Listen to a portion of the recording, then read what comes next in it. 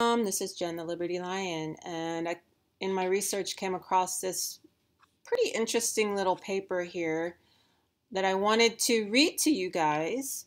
And um, I'm going to read it because it's something that, that it's a letter to Congress. I just want to point out a couple of things here. So your remonstrants, the remonstrants are the people who are writing this paper, and they're writing it to the honorable, honorable Senate and House of Representatives of the United States. Now, I say of the United States because if you've been following me and watching my videos, you know that the United States in Congress assembled is the Constitution, the authorities in the Constitution. Those authorities are for the people on the federal lands for the most part. They're not um, laws for people off federal lands. So a lot of people say, oh, the taxes are in. Okay, the taxes were for the federal government to be able to tax the people on those public federal lands, like such such as the officers when they are um, using the public lands for private gain. And this is all talked about in other videos. I've showed proof of it to you. I've showed you the officers' manuals, so on and so forth. The United States of America in Congress assembled is under the um, Articles of Confederation, and the Articles of Confederation are for the free, sovereign, and independent states. And uh, I've showed much proof of that to you. People say, well, the Articles of Confederation were repealed or replaced. They were not, and I've showed you proof of that. Um, Judge Andrew Napolitano has talked about that. The Constitution has been vastly exaggerated, not only in scope, but in the land to which it um, is is over, called lex uh, the law of the land, is not the entire country. When you're talking about the stuff in the Constitution. Okay, so that's just a brief reca recap of some of the stuff I've gone over and why this letter says to the Honorable, the Senate and House of Representatives of the United States and not of the United States of America. Okay, so um, free, sovereign, and independent states are in Article Two of the con of the um, Articles of Confederation, and what this is is a letter to the United States um, on behalf of Colonel Butler, who was charged with a crime for not cutting his hair. Okay, so they're calling it disobedience of orders justified on the ground of illegality. So what they're saying is that this guy showed up, he didn't have his hair cut, he couldn't cut his hair, wouldn't cut his hair, what have you, and so they charged him with a crime, and the crime at the time was illegal. Now, there are many things that the government and non-government instrumentalities tell us are laws, federal laws, and that we must follow them when in fact they are not federal laws and we do not have to follow them. And even if they were passed into law, they, um, they can't go against reason, common sense, the laws of nature, so on and so forth, and so they would be illegal. Okay, so I'm just going to read this to you. So this is a good time for you to just listen while you are working or driving or cleaning house or um, whatever it is that you do when you aren't staring at your phone. This is from um, the Library of Congress, its memory website. And uh, hopefully by now, if you've been following, you know what that website is. This is from 1805. The heading on this paper is called Disobedience of Orders Justified on the Grounds of Illegality, page 173. And I'm talking about here number 54. This is the 8th Congress, second session, disobedience of orders justified on the ground of illegality, communicated to the Senate January 30th, 1805, to the Honorable, the Senate and House of Representatives of the United States, the remonstrance and petition of sundry citizens and officers of the militia in the state of Tennessee. Okay, so I'm just going to read it to you. Your remonstrance, having those respectful feelings for your honorable body, which citizens ought to possess, and which those bearing commissions in the militia ought ever to cherish, beg leave to represent.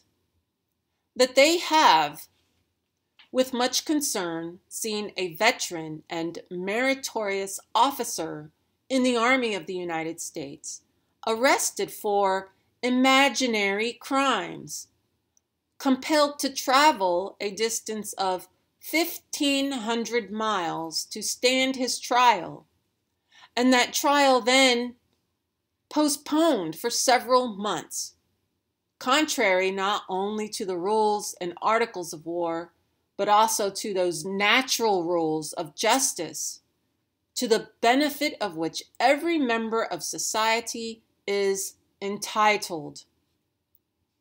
That the only crime of which he was found guilty, and the only one perhaps of which any serious expectation of convicting him was ever entertained, was a refusal to crop his hair in conformity to an order which he conceived to be illegal, and which your remonstrants conceive to have been an arbitrary and useless exertion of authority. That in the execution of the sentence of the court martial, which subjected him to a reprimand from the commanding general, your remonstrants have been able to discover not only or not the calmness and dignity to be expected from a person invested with so high an office, but a disposition to passion and invective, well calculated to make impressions unfavorable to the military character of the accused, and foreboding a renewal of persecution. Your remonstrance have been prompted to an expression of these feelings, not only from a disposition to resist oppression, from whatever quarter it may come, even if directed against the most humble and obscure member of the community, but also from a long acquaintance with the person injured in this instance, a knowledge of his virtue and integrity as a man, and his bravery and fidelity as a soldier. During a command of several years at a post, where not only the greatest firmness and the strictest attention to discipline were necessary, but also the discharge of his duty in enforcing obedience to the laws had an almost unavoidable tendency to create numerous implicable enemies.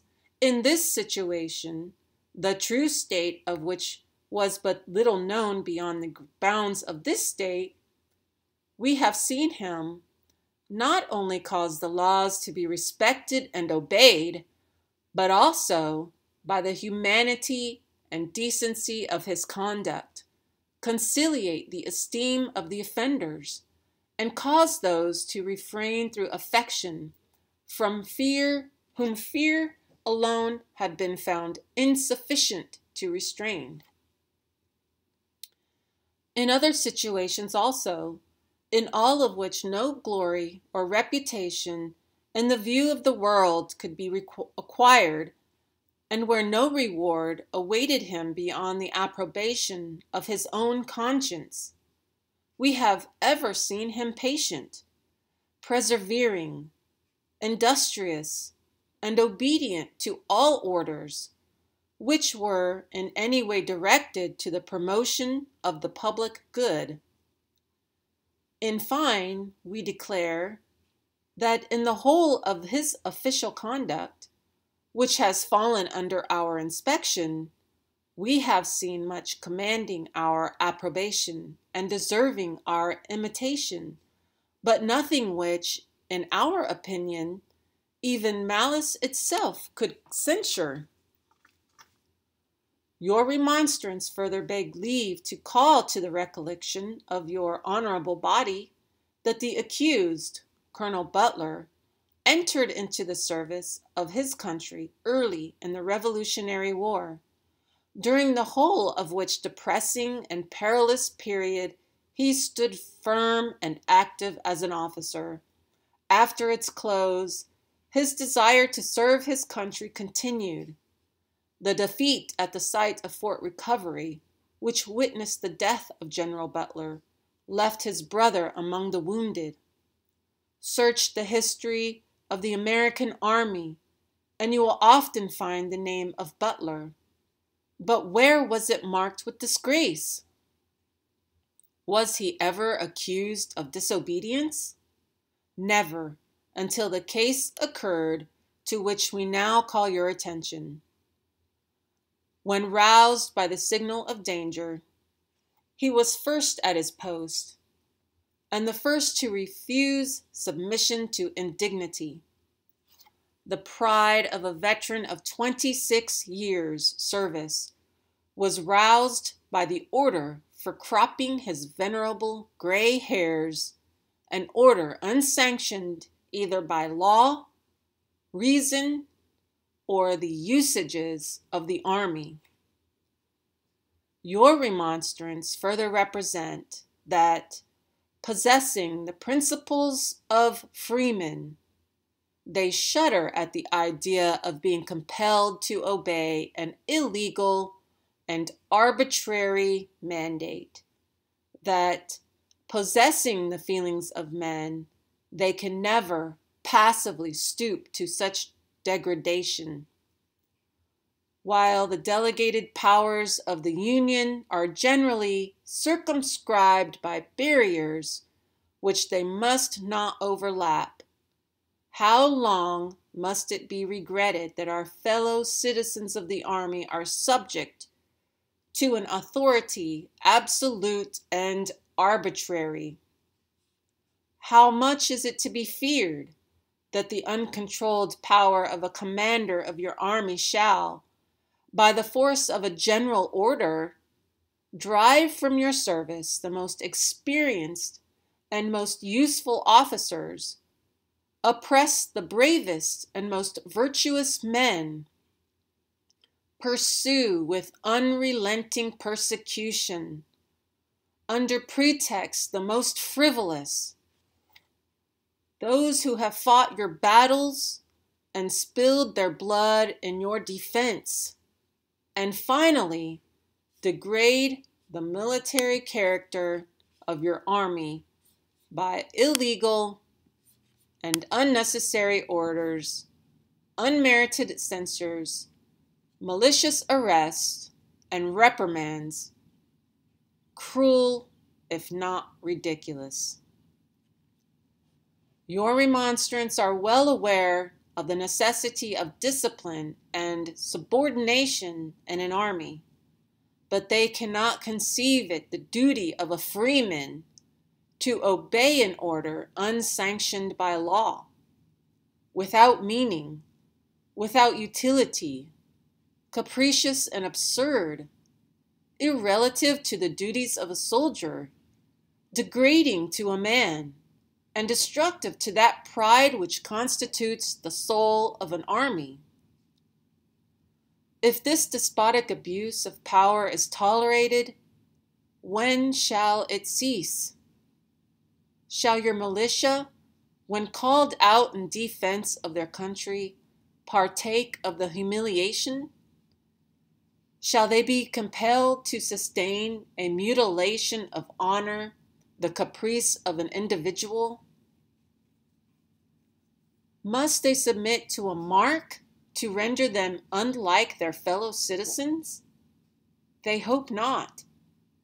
And that whether their country requires the calling out of a military force from the body of its citizens, it will not be shackled with such humiliating conditions as to render it ineffectual. Under the impressions excited by the transaction, which has called forth an expression of these sentiments, your petitioners hope, with due submission and respect, that your honorable body will ordain and establish such articles and rules for the future regulation of the Army as will prevent abuses of power and preserve from indignity and insult those who devote their lives to the service of their country. Your remonstrance beg leave further to represent that Colonel Thomas Butler of the United States Army is the character that has been thus illegally and improperly dealt with, and in consequence thereof, the feelings of your remonstrance have been raised to make that representation of facts which they have now done, and they also beg leave to represent that the order alluded to in this remonstrance is radically illegal and despotic, that the cause which gave it to it birth is trifling and unworthy of the attention of a great general belonging to the United States Army, and therefore, as Republicans, we feel ourselves justified and emboldened in bringing to the view of your honorable body this particular situation.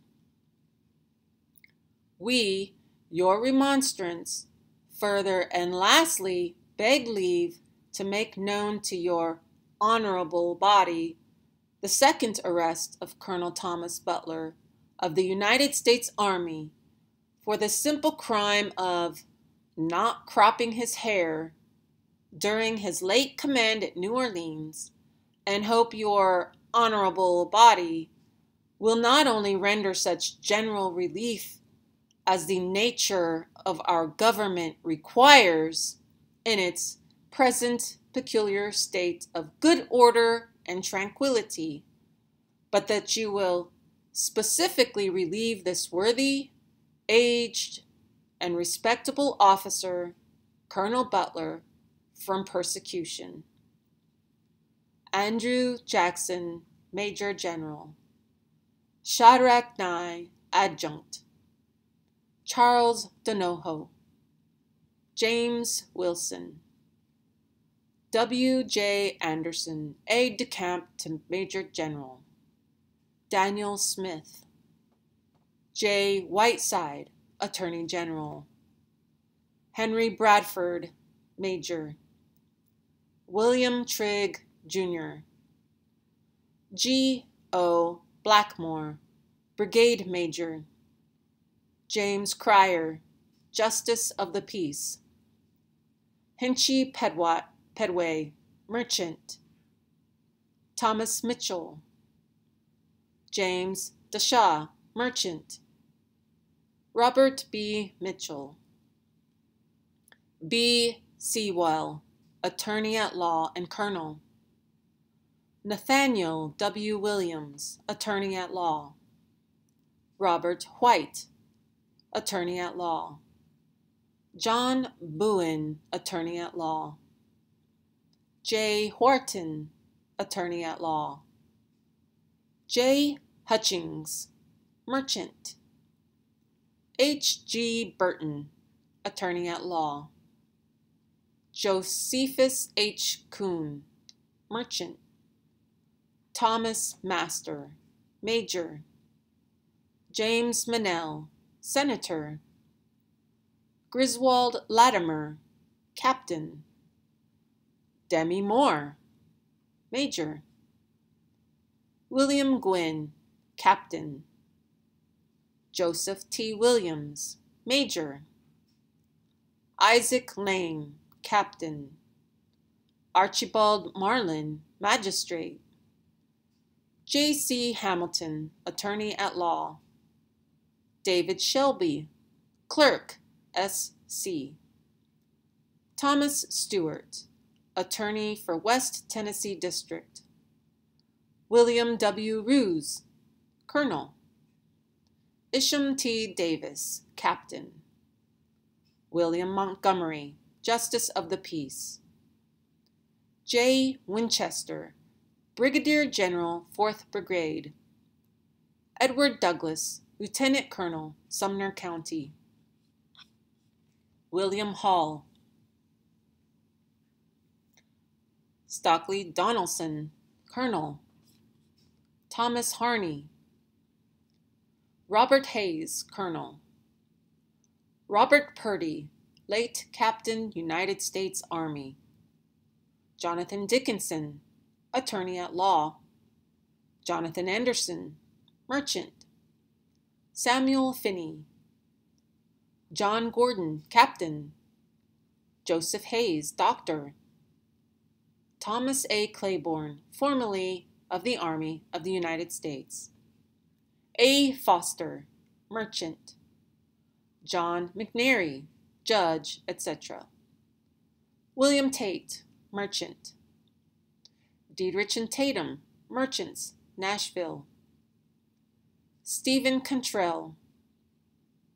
James Tatum, lieutenant, 3rd NCR, late Revolutionary Army. J. Childress, junior marshal. King, Carson, and King, merchants, Nashville. Thomas Dillahunty, Justice of the Peace. Moses Fisk. Roger B. Sappington, physician of Nashville. Bill Bosley. William Little. John Childress. William Black. Joseph Irwin. Thomas Thompson. William Russell. R.C. Foster, member of the legislature. Robert and William Searcy, merchants. Thomas Crutcher, treasurer. Mero District. Chom, Tom, James Hennon, M.D. J. H. Parker. Joseph Coleman. Honorable Tadier, late captain of the Revolutionary Army of the United States. Please consider liking, sharing, subscribing, leaving a comment, and pressing that little notification button so that you can see the next time I post a video. Again, this is from the website memory.loc.gov. This is under the heading of Disobedience of Orders Justified on the ground of illegality. Document number 54, 8th Congress, 2nd Session.